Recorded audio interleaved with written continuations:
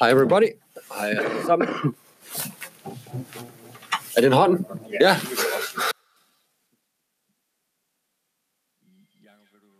Jacob, could you please uh, explain how you lived this night or experienced this night? Tough, difficult, good team.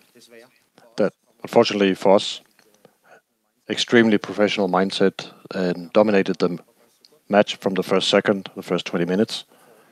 We had a tempo shock, and I would say the combination of meeting the team that we met and haven't played a competition match for two months makes it difficult for us. And I think, well, but I'm I'm okay with the last part of the uh, first half, the last 20 minutes, where we uh, equalized and had a chance for a two to one. Of course, unfortunate that we got a goal against us, more or less at the last kick before the half time, but they were better than us. And uh, of course, it was tough. We ran a lot around on the field. After them, they had possession of the football most of the time, of course. I regret the last goal, but it was a tough night. And I must say, they were a level or two above us, better than us, and the opponents that we met in the uh, in the group stage. We must acknowledge that. So in overtime, first half they scored for two one, and then also at the very last minute. How much does it irritate to see you having these goals against you right before the half and uh, at the end? Of course, it's annoying and irritating because if you go back uh, during halftime with uh, one one, you have other vibes, but um, that's the way it is. Random goal, three one is of course unfortunate and unlucky. And then the possibility, uh, before that, the possibility was still there to do something at Etihad Stadium uh, with a result that was within a scope. So, of course, that's uh, regrettable, but I'm quite okay with all of that. I'm okay with the fact that uh, we lose to a opponent that's better than us on all parameters uh, both uh, on the field and uh, on the other side of the lines as well. And we have to acknowledge that and we have to learn from that and develop.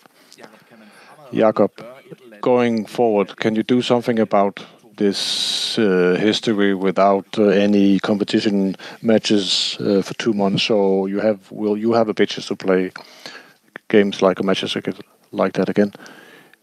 Well, I think I have to check but uh, there could be a match day in January would be an advantage for Danish teams at least.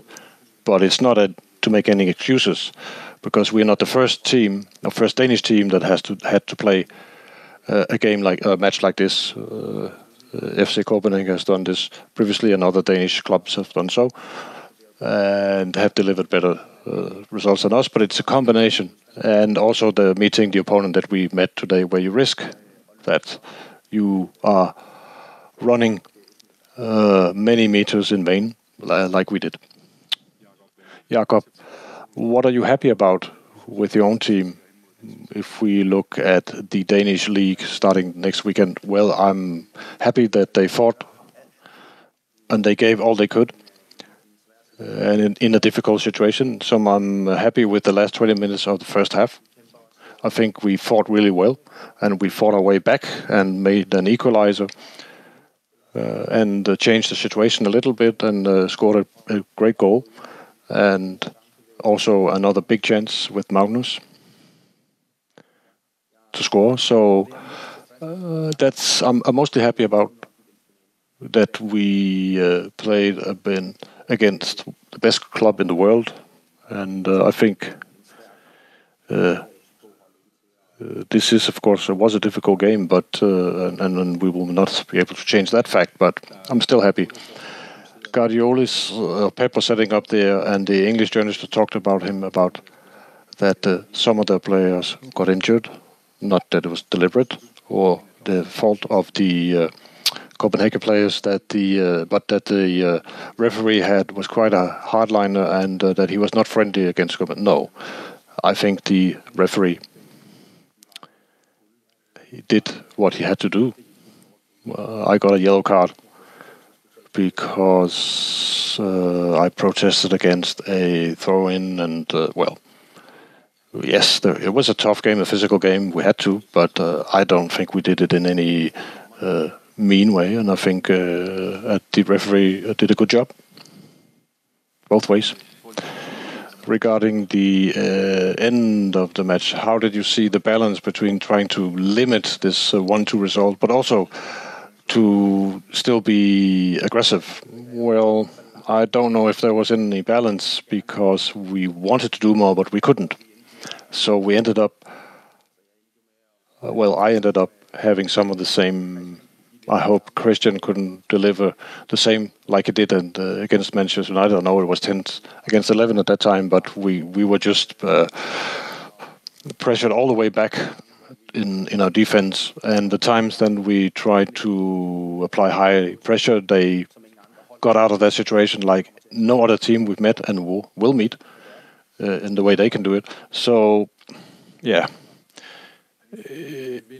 we wanted to and make some situations that uh, could uh, mean a goal, but it was difficult, and we were in a situation where uh, we actually achieved the balance, and then they scored. So, I think it's Jeppe's turn. Thank you. Neestrup this it's the ultimate test to meet the best team in the world. But what does it take for a team like yours to get points or even win uh, against Manchester City when they show up uh, like they did today? Well, that's difficult, but you have to uh, grab the chances you have and the possibilities you have. So it's not impossible. There also, there's also always a chance, but we won't be in a place where a Danish team or FC Copenhagen can play uh, on the same level as Manchester City uh, for two matches.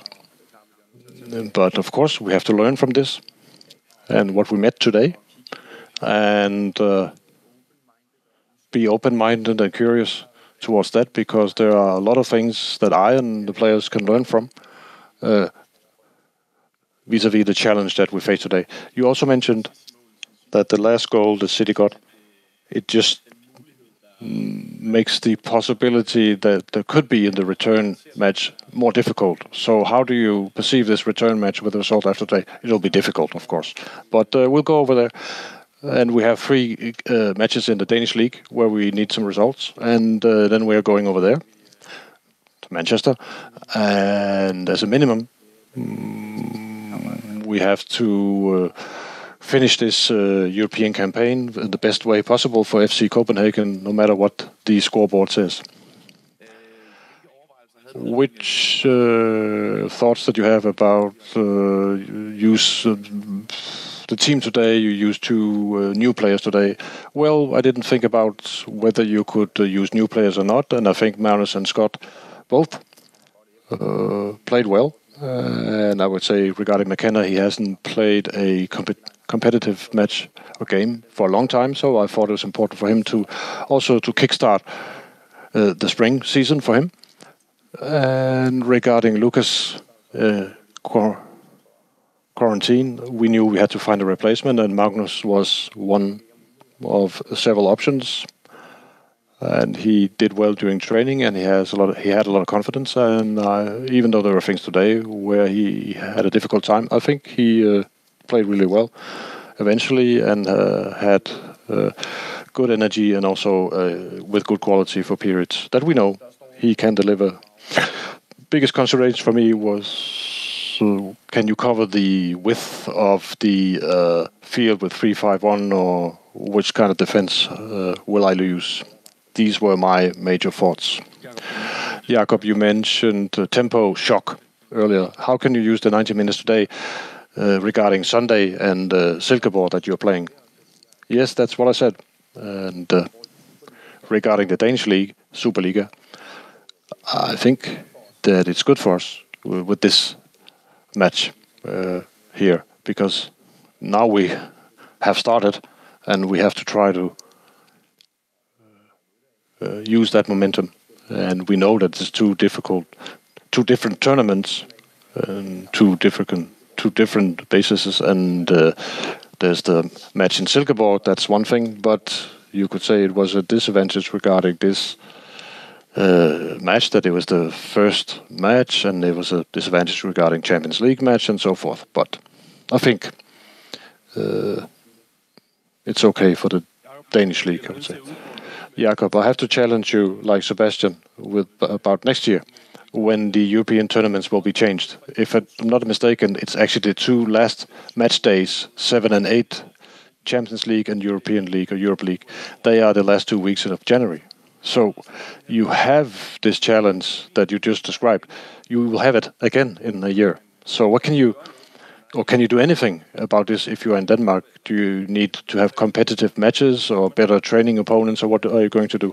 Well, you could say that two weeks makes a difference.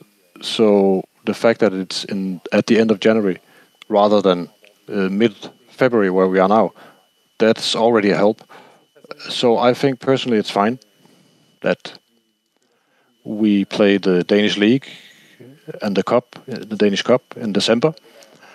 I think that's something and uh, something to push forward with the with with that tournament. But I don't know what the other options are uh, for the last uh, first or last game being so close together. I think that should enhance the possibilities to for delivering a good uh, result after Christmas. But it's no excuse.